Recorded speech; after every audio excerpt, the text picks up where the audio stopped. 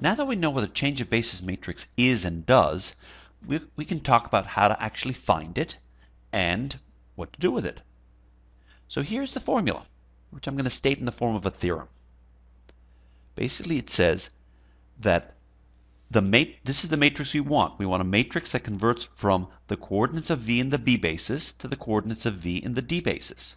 And the way to get that matrix is the first column of that matrix is what we do when we take the very first basis vector in the b basis and write its coordinates in the d basis. Then we write the second base b basis vector in the d basis, the last and, and all the way through the last b basis vector in the d basis. In other words, we take all of the vectors in the b basis and write down their coordinates in the d basis, put them side by side, and that's our magic matrix. So let's see how that works in an example.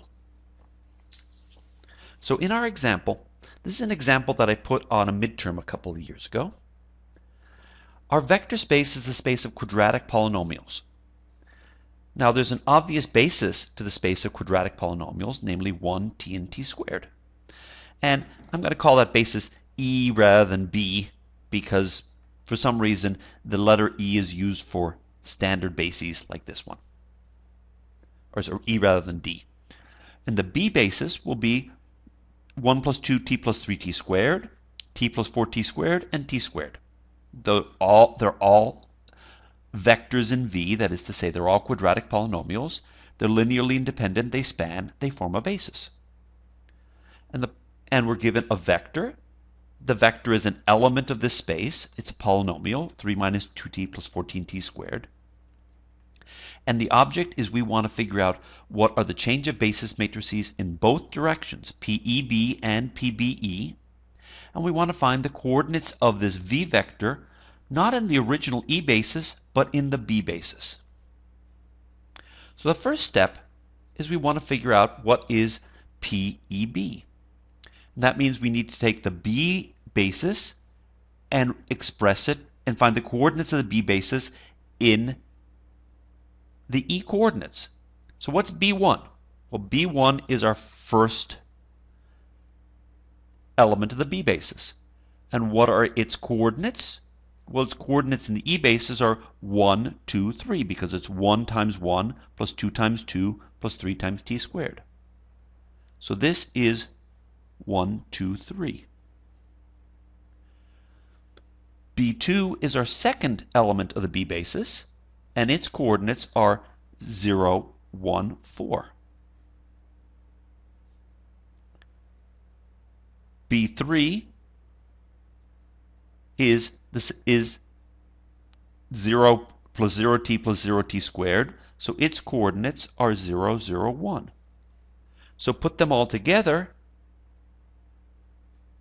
and we have our matrix PEB. Now, how about PBE? We could do the reverse. We could take 1 and t and t squared and decompose them in the B basis, but there's a much, much easier way to do it. You see, PBE is the inverse of PEB. And we know how to take inverses. We can take the inverse of this matrix by doing a bunch of row reduction. And I'm not going to do all the steps right here. It's not very hard. You write this matrix followed by the identity. You row reduce until this becomes the identity. And you see what you get on the right-hand side, and it turns into this. And you can check that these matrices are inverses to each other. So this must be what PBE is. Next step, we want to figure out what is V in the E basis. Well, V was 3 minus 2t plus 14t squared. In other words, it's 3 times the first basis element minus 2 times the second basis element plus 14 times the third basis element. So its coordinates are 3, negative 2, 14. Yay. And finally, we want to figure out what is the coordinates of v in the b basis. And that's where our magic matrix comes in. You take the coordinates in the e basis and you just multiply by the change of basis matrix, and that'll give you the coordinates in the b basis. So here's the change of basis matrix. here's the coordinates in the E basis, and here's the product. Okay, so what does this mean? Well, the statement that V in the B basis is 3, negative 8, 37 means that V is 3 times B1 minus 8 times B2 plus 37 B3. And if you go back and check it, and you take 3 times you know, what, you know, whatever the first basis element was minus 8 times that, that second guy plus 37 times the third guy, and you multiply it all out, you will in fact get V. But this was a much easier way.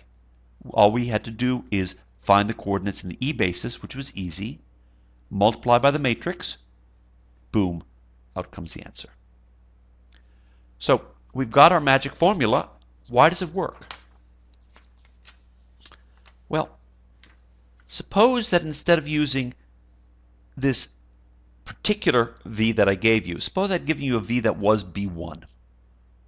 Now we're talking about going b to d, okay, instead of going e to b. So we're back to the original formula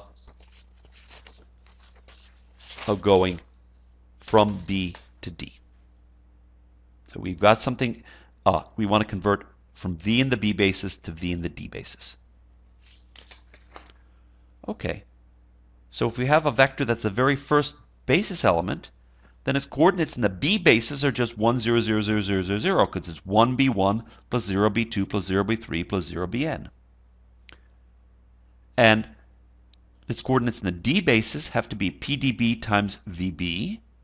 So that pdb times 100001. But that's precisely the first column of pdb. So we've just figured out what the first column of pbd is. The first column of pbd is the coordinates of b1 in the d basis. Okay. We could do the same thing if v was b2. If v was b2, then the coordinates in the b basis would be 0, 1, 0, 0, 0. And the coordinates in the d basis would be what you get when you multiply that by pdb.